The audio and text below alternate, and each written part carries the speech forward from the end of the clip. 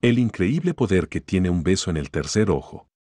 El sexto chakra del tercer ojo, o también llamado ajna, está situado entre las dos cejas, en la hendidura de la frente, asociado con la glándula pineal y pituitaria, con los ojos, el cerebro, con los colores índigo y púrpura, representando la percepción, la intuición y el conocimiento. Durante años, el tercer ojo fue incluido en el terreno de lo mítico, pero en la actualidad la ciencia cree haber establecido una conexión entre él y la glándula pineal y pituitaria.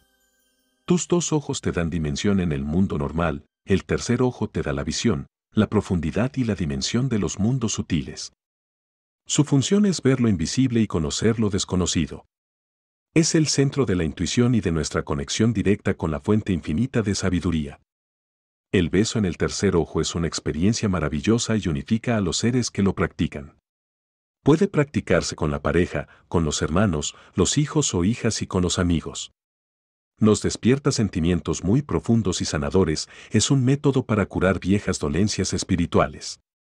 La forma de practicarlo es tomando las manos de la persona que vas a besar en el entrecejo, viéndole a los ojos, y mandándole bendiciones con la mirada, y luego de unos segundos tomar su cabeza con las dos manos sobre las orejas y depositar el beso en el entrecejo, al besar cierra tus ojos y piensa en un triángulo con sus tres lados iguales. En el ángulo superior está Dios, y en los dos inferiores las dos personas que interactúan en esta bella demostración de amor.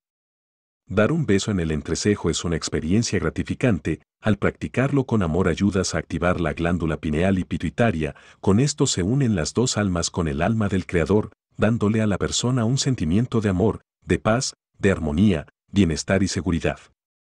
Un beso en la frente sana el alma. Hay personas que afirman que un beso en la frente estimula su glándula pineal. Es como besar el alma de otra persona.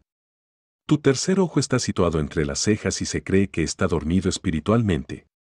Al recibir un beso en la frente, el beso en se activa, despierta y estimula, en esencia, tu tercer ojo liberando así la melatonina y DMT.